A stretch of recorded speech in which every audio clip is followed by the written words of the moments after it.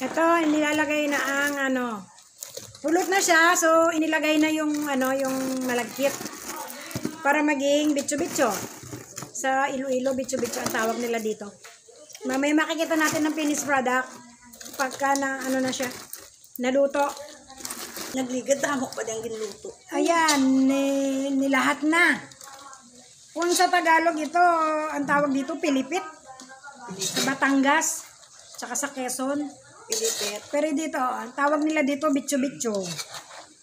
Ito, pinapakita ko sa inyo ang pagluluto. Kanina, ah, inano yung malagkit, nilagyan ng tubig. Pagkatapos, ah, dinilagyan ng design na pa, parang papilipit. Tapos, nagpa, nagpakulo ng, ng tubig, nalalak, nilagyan ng asukal, at ginawa siyang ah, arnibal.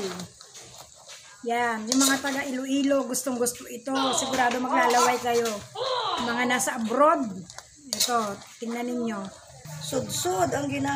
Amon siya. O, nag-ilongga kami na duha ho. Kaya ang mga ilongga na intindihan niya, pero ang mga Tagalog, pa- pasensya lang yan. Tagalogon ko lang ni Karon. Oo, at Tagalog? Ah, Ay, hindi man ako.